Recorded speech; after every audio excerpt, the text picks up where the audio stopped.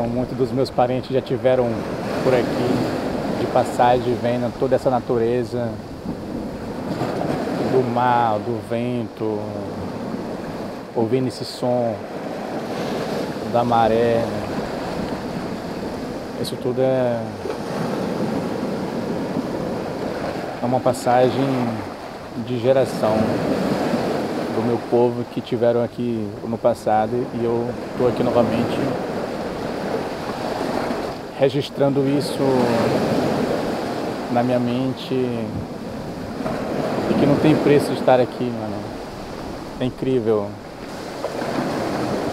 São os poderes do, do Maíra, dos nossos deuses que me, que me trouxe até aqui, que me faz viver isso, né? Que me faz lembrar aos nossos ancestrais né? que tiveram por aqui de passagem de forma tão violenta, perseguido, perseguido né? É incrível sentir essa conexão da natureza. Eu precisava estar aqui, viver isso, registrar isso. E que muitos dos, dos meus parentes, da nova geração, eles vão ver isso talvez daqui futuramente tudo que está aqui atrás de mim pode se tornar em, em grande estrutura de edifícios, né? de empresas ou de cidade mesmo. Né?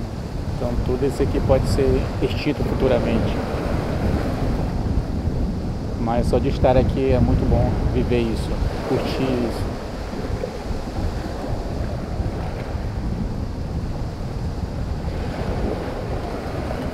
Eu me chamo Ronilson Lima Guajajara, sou do povo Tenterraro, sou do povo Guajajara e sou do território Araribóia.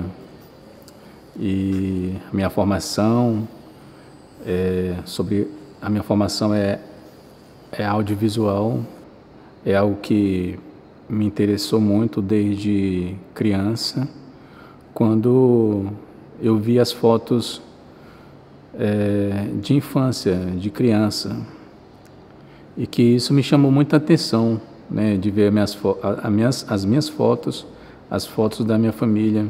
Aí a, a minha família gostava de registrar coisas, né, e, e, e, as pessoas que registravam, né, outras pessoas, pessoal que era da Funai e, e outras pessoas que sempre andavam em casa, né, e meu, meu, meu pai né, era bem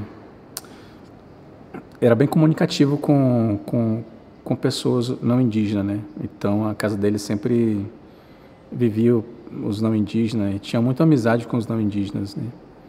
Aí, então os não indígenas também levavam muito essas é, essas coisas de material, essas material, né? Que era para registrar momentos, né? Dia a dias, né? Então eu fiquei muito interessado com isso, né? De registrar algo que ficaria para sempre, né? Quando eu via televisão pela primeira vez, né? Como que as pessoas faziam isso, né? Então, até hoje fica na minha mente como que começou isso, né? Interesse, né? De registrar, né? Então conheci, né? Um amigo, um parente, um irmão, um primo. Criamos junto essa ideia, né? De estar tá, um dia criar um, um criar um filme, né? fazer um filme, né? As pessoas conhecerem a gente, né? E a gente teve essa ideia junto quando nós era criança, né? Então a gente falou novamente com a Sônia, né? E sobre isso, essa questão de, do, do audiovisual, comunicação, né? Como é que busca isso? Quando foi em 2015, né? Ela me chamou para fazer curso de comunicação na Lagoa Quieta, né? Na aldeia dela, na aldeia da Sônia. Coisa de Índio, o nome do projeto primeiro projeto de primeiro projeto do audiovisual realizado dentro da, dentro do território Araribóia. Aí quando eu chego lá eu encontro o Edivan novamente, né? Aí quando a gente entrou no, no, na sala, né? A gente olhou assim na mesa, né? a gente viu umas câmeras lá. Ele olhava assim para mim. a gente está realizando o nosso sonho. a gente estava fazendo cobertura da festa do mel, da festa dos rapazes, né? História, né? Então é, esse foi o primeiro contato com, com a câmera, né?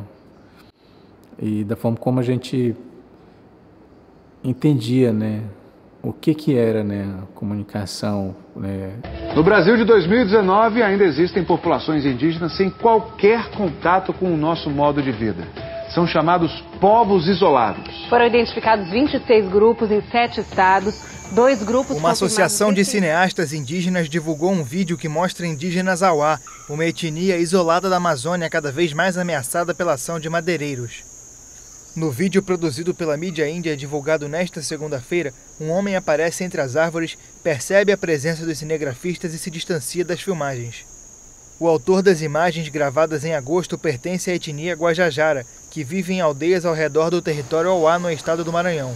Eu pensava muito sobre registrar eles. Eu pensei muito né, em alguns momentos ali. Né? Se eles aparecer, como é que eu vou fazer? Eu devo registrar, devo filmar. Eu pensei muito sobre o, sobre o futuro, né?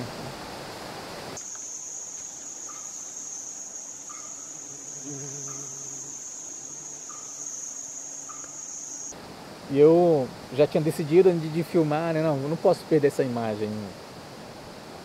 Então eu registrei, né? Liguei minha câmera, é, eu puxei o zoom buscando, buscando eles, né? Filmei em poucos segundos. Aí depois eu busquei essa, esse guerreiro, né? Buscando ele, procurando coisas, né? Então é, eu já tinha uma imagem dele. Eu pensei assim, como que eu vou fazer agora? Eu podia me, me eu podia sentar, né? Me abaixar e sem ele poder me ver. Aí eu falei assim para mim, poxa, eu tô levando uma coisa muito interessante, muito importante. Aí eu falei assim, não, eu, eu preciso que ele me vê também.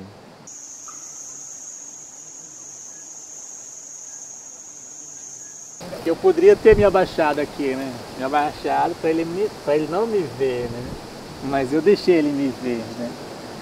Então eu fiquei assim umas horas boas segurando aqui, né? Para poder registrar, procurar ele, então... Aí eu tava meio que cansado, né? Então, eita, esse cara vai me ver agora. Não, vou deixar ele me ver. tipo, deixa ele me ver, tudo bem. Mas no momento ali eles se armaram ali, eu fiquei com medo na hora. Esqueci da minha tela da minha câmera.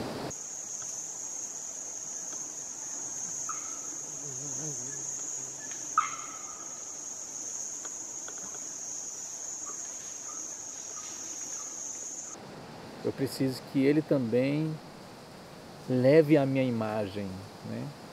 Para ele poder contar para os outros também o que ele viu, né? Quem ele viu, né? Então essa foi a minha intenção depois de, depois de eu ter registrado ele, né?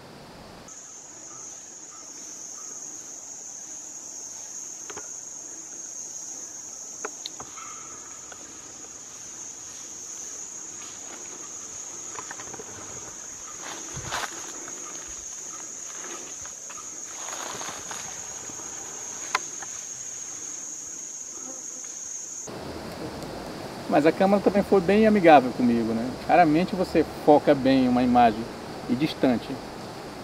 Nessa hora lá ele pegou bem, né? Nossa, obrigado câmera, obrigado, obrigado.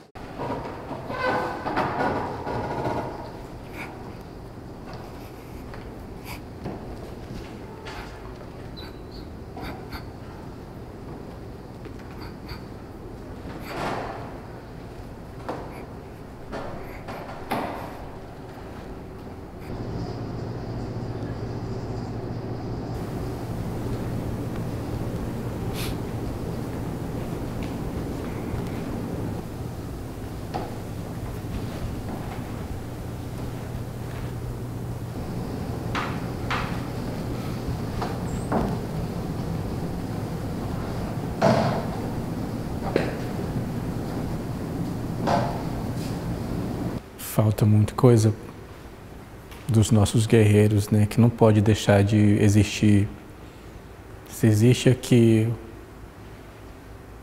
pessoas que representam outros povos, né, que são liderança, que são ancião, que são que são pessoas que são importantes de cada povo, nós podemos ter a nossa imagem aqui também. Por que, que não tem a foto do Zezico aqui? Por que, que não tem a foto do Paulo aqui? Pessoas que, que estão lutando, que lutaram pela defesa do seu território. Por que, que aqui não tem uma homenagem, uma foto?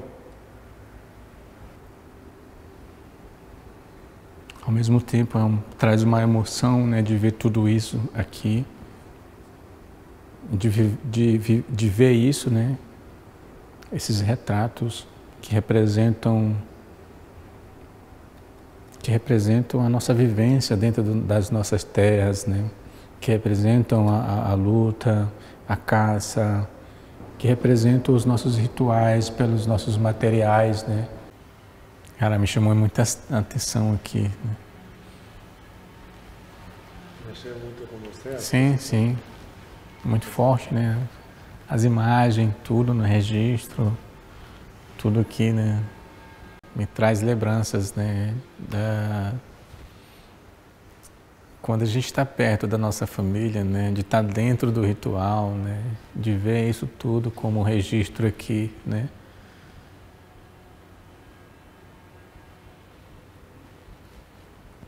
E que muitos deles não não estão mais presentes, né? Muitos já se foram, e que representa também, né, assim, a história da nossa, da nossa luta de cada povo aqui.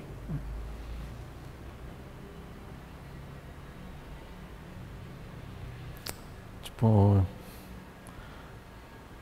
eu vejo que daqui uns 30 anos, né, daqui uns, quando não estiver mais vivo, sempre vai estar essa exposição aqui, né?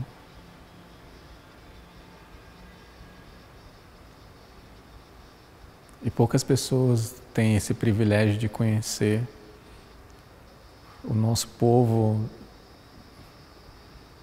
vivendo essa, vivendo essa cultura né, que são praticadas em nossas terras, né, em nossos, nossas casas, né, esse ritual. Né.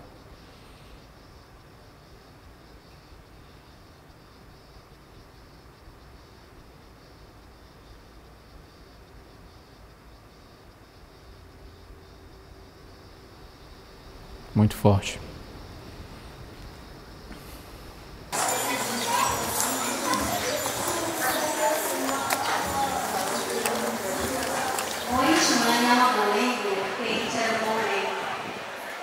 Nossa parenta está juntamente em todos os movimentos indígenas conosco, Maria Gabi, uma parceira que fortalece mais a nossa causa indígena.